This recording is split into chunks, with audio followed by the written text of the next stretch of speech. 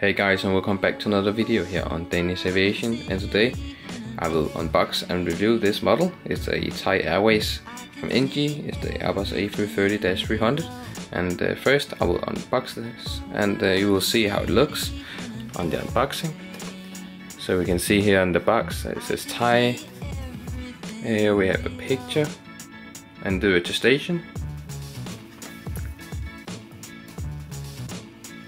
and of course everything warranties, warning, licensed, trademarks and everything.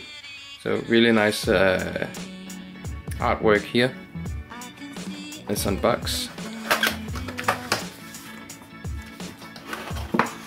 So about this model, as you can see here on the unboxing, that this Airbus A330 has uh, a foam and also a small plastic cover under here. And the main cover here which I will remove. And now we have the, airplane. Some kind of plastic. And as you can see the, the aircraft is really protected this time. Um, underneath the foam which is really awesome. Um, so definitely worth the price actually you see, it's a bit hard, tough to get out. Here we have it. The Airbus A330 Thai Airways by NG models. So here we have the Thai logo, antennas, tail section. Yeah, everything is fine.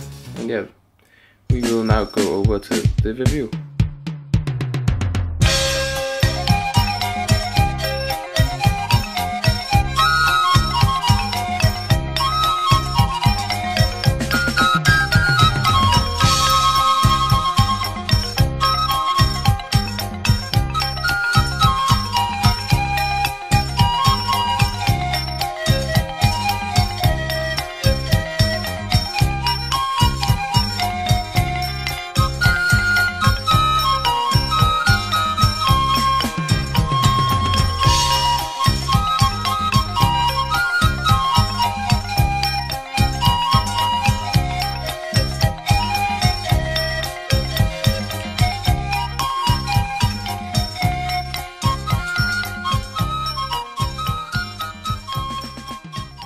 So here we are at the review and uh, we would like to start with the mold.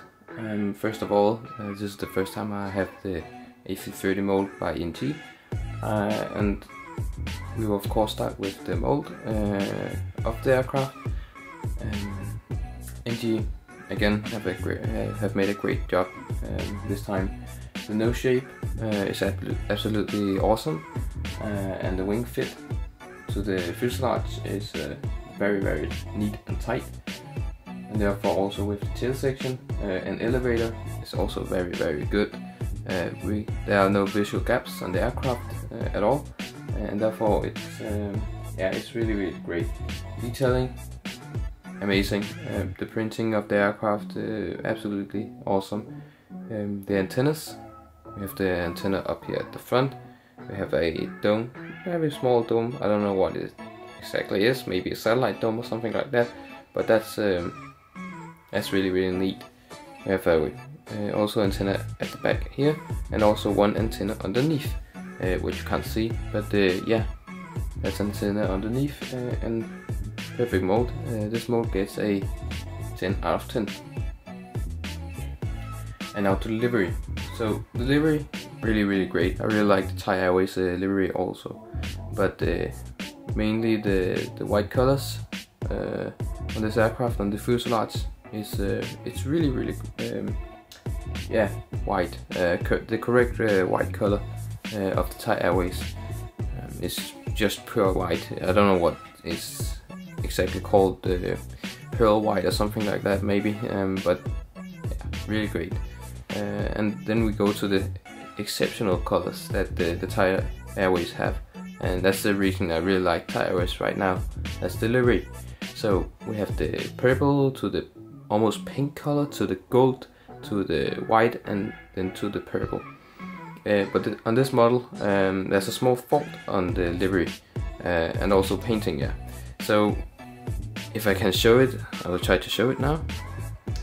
There's here on the tail section between the white and the purple uh, livery, you can almost pick it up on the camera where the purple painting is um, a bit thin. Um, at the section I will actually show you the section right here where my finger is over. Um, the section right there has a very thin uh, painting which you can see with the your eye but you really need to look very close. Um, but still it's kind of disappointing um, when you have almost failed this time uh, with the livery um, but otherwise the colors are really great. Uh, the gold actually is something I really really like. Uh, it's kind of metallic but also a matte color uh, which is correct compared to the real aircraft. Um, yeah absolutely amazing. Uh, but still the livery gets a 8 out of 10 and only because of the, um, the small default up here where the painting is very thin. So we will now go to the wings. Um, as I said, the wings are really, really, really great. The wings are very neat fitted up here at the fuselage. There are no visual gaps at all. The winglets, um, first of all, I thought the winglets maybe were too big, but actually when I saw it compared to the Beluga, the winglets were yeah correct size. Uh, but that's mainly because of the colors of the wing. It's uh, it's purple and therefore it yeah it might uh, look bigger than it should be, but still really really great. So um, and the detailing and also the gestation back here uh, and the flaps and everything simply amazing. And therefore the wings get a 10 out of 10. And the engines, um, the engines are really good. And they are seen through engines which uh, are really great compared to the size of the, the aircraft and everything. But the engines have one big fault and both engines have this fault. This fault is mainly uh, the same thing that the Beluga XL had um, that I also have a review of on my channel. And uh, please take a look of it. Uh, it's a notification up here but also the, the engines uh, on this model have the same problem as the Beluga. Uh, the engines are quite loose actually. When I try to, maybe it's possible to see it, but when I try to just touch it, it's it moves um, quite easily um, and you can feel it. That's one thing that NG could uh, improve, but uh, compared to the actually Beluga XL, um, it's better. It's it's actually better this time. And they have somehow made it better, but still it's it's loose. Uh, I would really like to see it uh, sit more tight or something like that, uh, where it doesn't visually uh, um, where it doesn't visually uh, move around. Um, but yeah, the engines get a 9 out of 10. So the landing gear, um, well the landing gear doesn't have any problems, uh, no tire alarms at all. And actually, I think maybe it could be the best landing gear that I've ever had on this aircraft, type of aircraft. So I don't know if it's, you can actually hear it, let me try.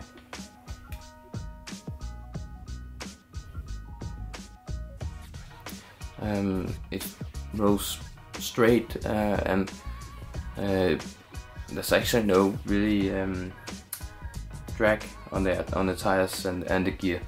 Uh, the, the gears actually don't tilt at the back, um, so it's yeah, can't actually move it, move them around. Um, maybe they could uh, improve on that, uh, maybe, but no other company does it uh, on the A330. Uh, yeah, so that's it.